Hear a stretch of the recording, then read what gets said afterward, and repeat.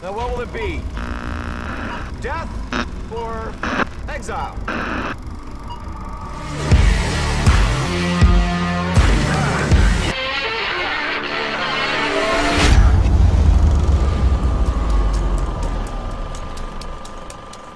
Hi guys, this is your spoiler-free review of Wonder Woman 1984 for the film Exiles.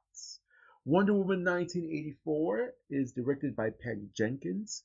It stars Gal Gadot as Wonder Woman, Chris Pine as Steve Trevor, Kristen Wiig as Barbara Minerva, aka Cheetah, and Pedro Pascal as Maxwell Lord. Now, the good things about this movie I really like the way it looks. The cinematography is quite good. And I mean that in terms of the texture and quality of what you're looking at. The way it's color graded, the way that Patty Jenkins is able to shoot a scene. And it doesn't hurt that it has really good costumes and really good set design and has, you know, good visual effects as well. You can see that this is a big, expensive, sumptuous blockbuster and the money is on the screen. Also, the actors did a really good job. Every single one of the main actors did a fine performance. They were magnetic and charismatic in their own different ways. Gal Gadot embodies Wonder Woman once again.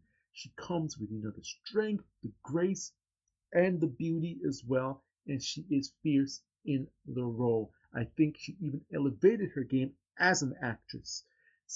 Uh, Steve Trevor, played by Chris Pine, amazing job. Really good chemistry with uh, Gal Gadot. Once again, very easy, breezy, charming, effervescent character.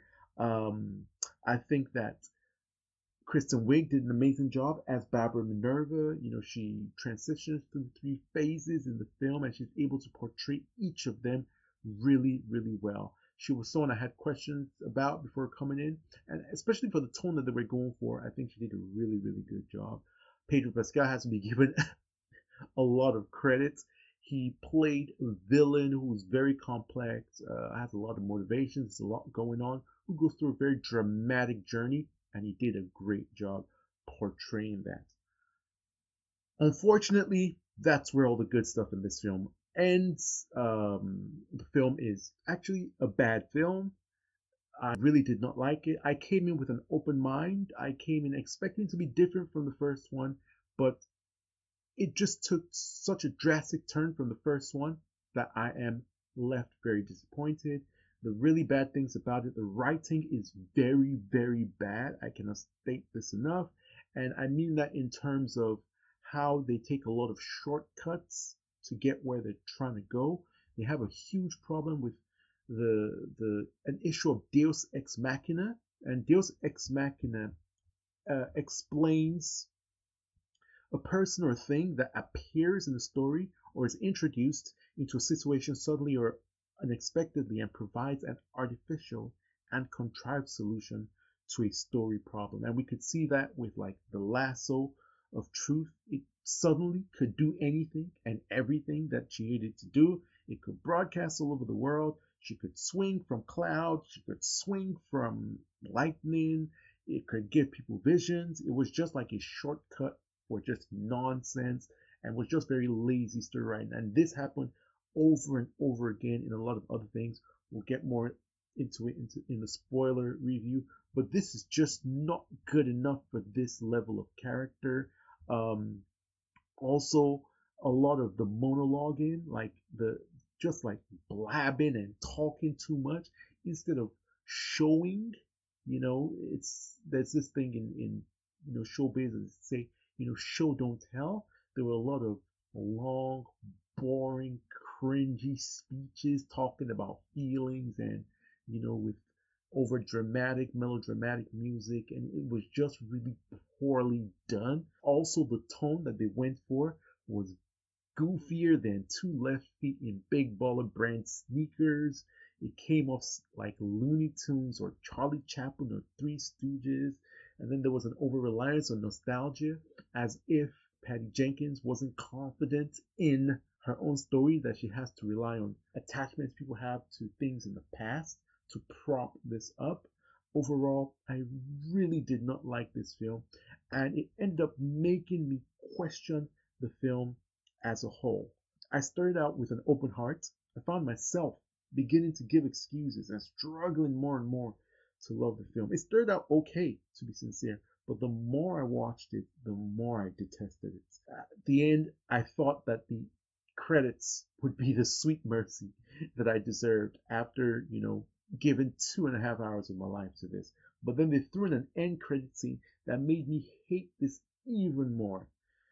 Wonder Woman 1984 is a blatant, shameless product. Patty Jenkins is a fine filmmaker, but she's a poor artist. And there is nuance between the two. She's not someone who, at least with this film, if it wants to make great art and tell a great story, she comes off as someone who wants to sell a product using all the manipulative tricks and tactics and shortcuts that she can, shamelessly and blatantly. There's no innovation here. It doesn't challenge the audience in new ways. It doesn't move the art forward.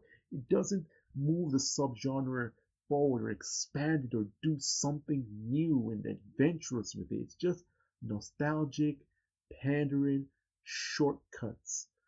As a matter of fact, I feel that Wonder Woman 1984 aggressively holds back the art of filmmaking and the subgenre within which it exists. And so that's my review for Wonder Woman 1984. If you couldn't tell, I really did not like this, even though I really liked the first one, apart from the third act. Um, we'll have a more in-depth discussion of this film. I hope that you guys tune into it.